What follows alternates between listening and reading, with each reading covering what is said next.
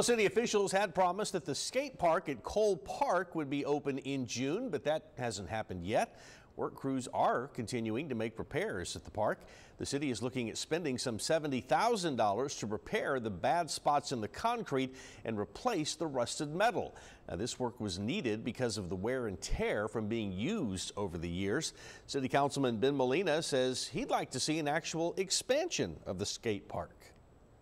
Personally, I would love to see some additions here. I think that uh, there's certainly uh, uh, we have the space for it, and there's more and more people in the community that have reached out, um, you know, with with those types of requests.